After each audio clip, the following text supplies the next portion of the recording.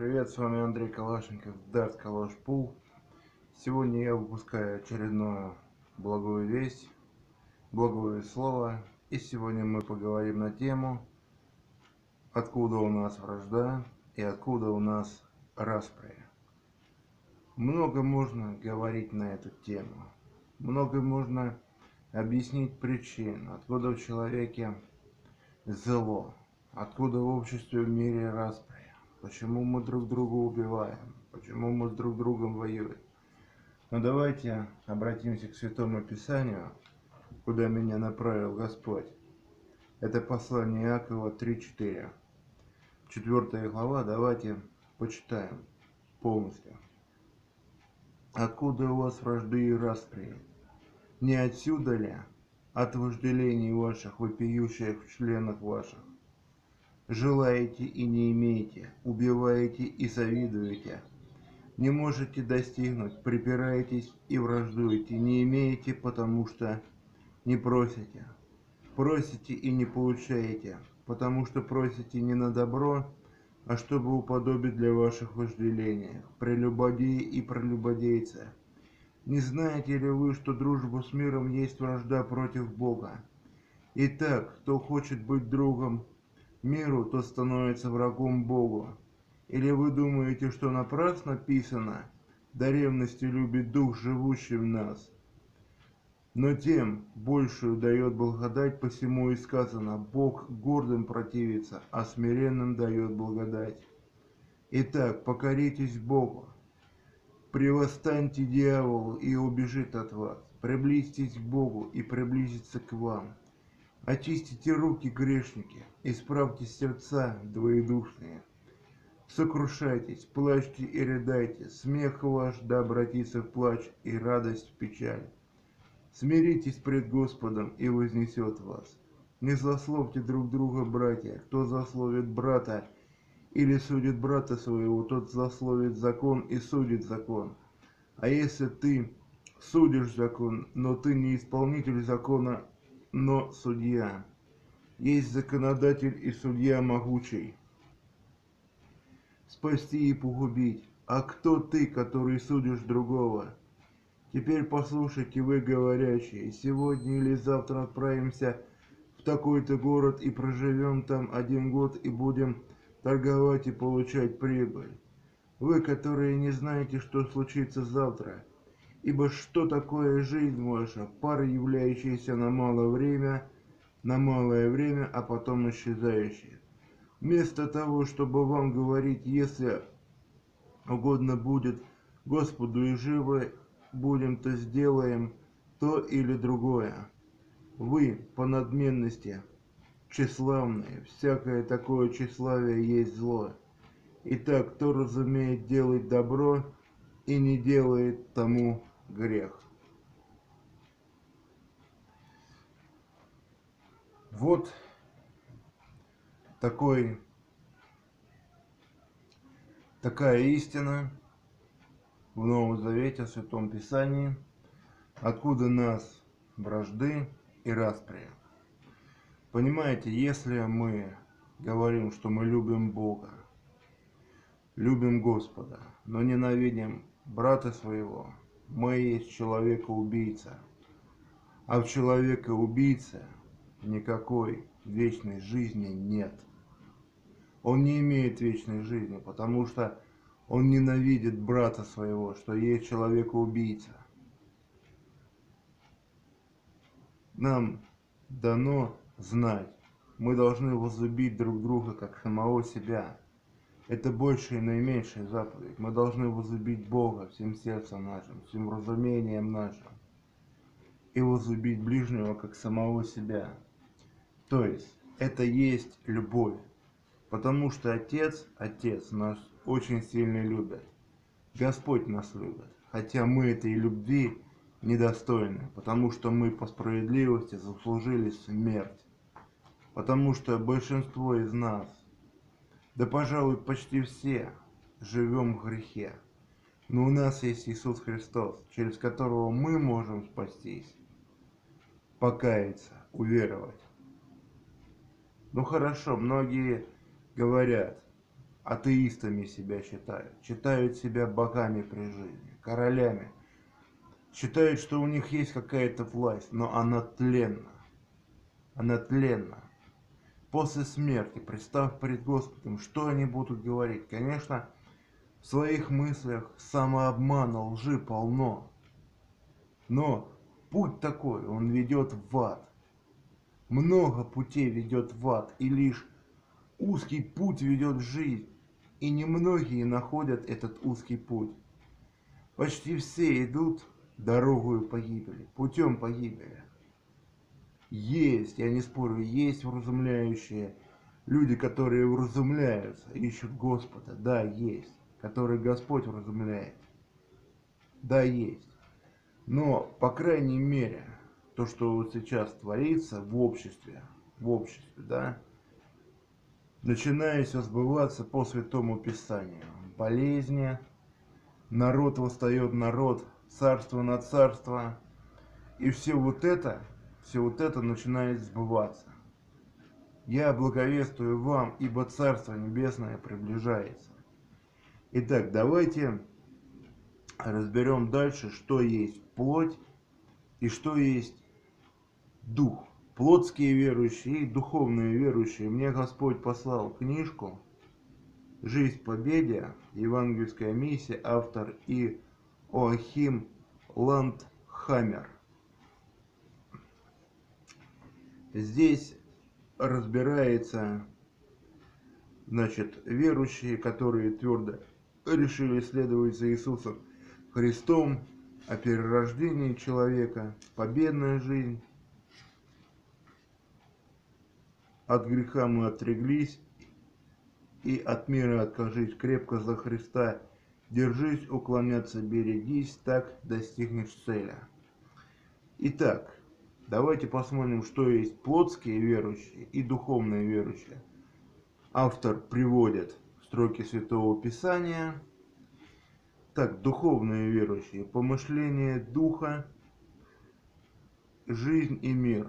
Помышление духовная жизнь и мир. Римлянам 8.6. Помышление плоти смерть. Помышление плотский суд смерти. Римлянам 8.6 духовные верующие, жизнь в духе, в духе, благочестие. Если мы живем духом, то по духу и поступать должны. Галам 5.25. Плотские верующие. Жить по плоти и умирать, ибо если живете по плоти, то умрете. Римлянам 8.13. Духовные верующие, плод духа, любовь, радость, мир – долготерпение, благость, милосердие, вера, кроткость, воздержание. Галам 5.22-23.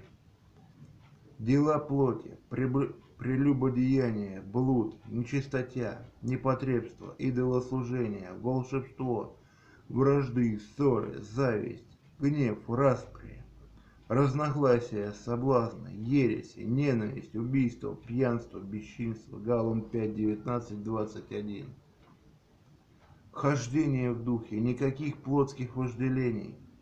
Поступайте по духу, и вы не будете исполнять вожделений плоти. Галам 5.16. Плотские верующие. Вожделение плоти против духа. Плоть желает противного духу. Галам 5.17. Духовные верующие. Мысль Иисуса Христа, испытывающий же сердца, знает, какая мысль у духа Римлянам 8.27.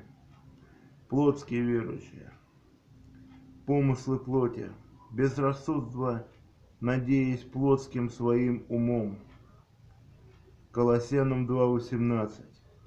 Служение плотью греха смерть. Итак, я служу плотью закону греха. Духом умерщать плоть. Если духом умерщвляете дела плотские, то будете живы. Быть плотским никакого роста, потому что вы еще плотские. Срам 1 Корфиянам 3.4.1. В плоти не живет ничего доброго, не живет во мне, то есть в плоти моей доброй. Римлянам 7.18.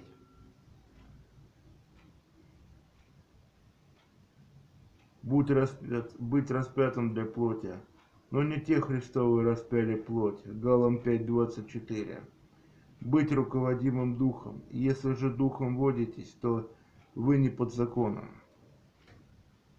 То есть, мы, большинство людей живет по плоти. Плоть, она развращает, разрушает человека изнутри, отвращает от Господа, ведет в ад. Если мы живем по духу, дух учит нас, мы идем к Господу. У нас есть благодать. Мы поступаем по истине и Божьей праведности. Ведь мы должны, прежде чем что-то говорить, мыслить, помышлять, руководствоваться всегда Божьей праведностью, но не своей.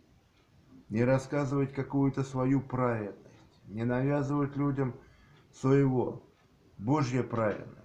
Божья праведность есть любовь, добро, мир и справедливость. Но дела плотские, они разрушают нас изнутри и приводят в уныние, в отчаяние. Конечно, много можно рассуждать на эту тему, почему мы враждуем, почему у нас распри. Если бы мы, ну вот многие, например, говорят, если бы мы могли бы любить, жили бы все бы по законам, заповедям Божьим, то мир был лучше бы. Вот этот мир, который он сейчас есть, да? Но, но, это противоречит Святому Писанию святому слову, истине, вот, которая записана здесь. Та будущее, что нас ждет, грядущее, описано в откровениях Иоанна Богослова, то, что ждет нас. То есть многие говорят, человек сам управляет своим будущим, мы построим сами свое будущее. Помните, как Соломон рассуждал, когда отец дал ему мудрость, он говорит, я соберу лучших людей, мастеров, строителей. Мы построим свой Иерусалим, новый Иерусалим, и будем в нем жить. Вот это и есть обман. Мы не строим свое будущее. Вот наше будущее. Вот оно здесь записано, то, что грядет. Вот оно есть. Нам, людям, нам, людям, никогда не побороть распри. Они всегда будут до пришествия Господа, мы всегда будем враждовать. Но, но если мы научимся любить, любить, то нам будет легче. Ну, например, кому-то легко сделать зло, от кого-то от этого зла воротят. Кто-то может сказать все, что угодно, человека обидеть, и ему будет все равно, что он сделал зло. Я говорю, что среди нас, дай бог, есть еще люди, которые разумеют. Но, но, мы все будем подлежать осуждению.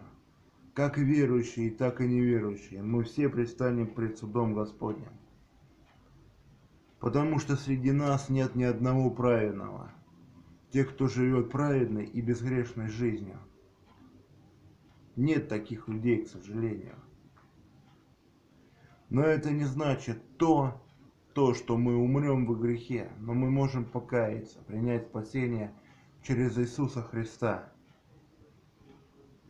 Жить с Богом, с Господом в новом городе, который уже был приготовлен Отцом от самого начала сотворения мира. Войти в этот новый город и жить в нем, но не пылать в гиене огненной. Вы когда-нибудь задумывались, вот хоть на минуту остановиться и задуматься, а что будет потом, вот, когда я умру, когда меня не станет? Куда я попаду, в рай или в ад? У меня, когда я пытался присоединиться к пятидесятникам, там был брат Александр, вот у него было два таких интересных вопроса почему я должен попасть в рай, и почему меня туда должны допустить. И действительно, почему многие думают, что они попадут в рай, некоторые считают, что они попадут в рай по делам своим, по добрым делам, Некоторые жизнь меряют своими добрыми делами, но на самом деле мы попадем туда не по делам, а по благодати Господа нашего Иисуса Христа, если мы будем в это верить. То есть, понимаете, все зависит от веры. Но также мы должны не забывать, что мы должны раскаиваться и каяться. Хотя да, все очень сложно и все очень тяжело. Но поверьте, когда мы уверуем полностью, когда мы исправимся, будет легко. Будет легко. Я тоже грешник. Я тоже грешник. Но бывает порой я ненавижу тоже ближнего своего. Ругаюсь, матерюсь. Да, я не идеален. Но я стараюсь. Я стараюсь учиться, стараюсь разумляться. Да, меня также окручивает плотские желания, плоть. Окучивает дьявол. Надо то, надо это, надо все. Но я стремлюсь и хочу стремиться к Господу, к Отцу. Правда, очень страшно будет палать в гиене огненной, откуда пути назад не будет, где мы будем вечно мучиться, вечно. Днем и ночью вот эти муки будут нам. Вы задумайтесь. Я прошу вас. Я не призываю, не требую, но просто задумайтесь над этим.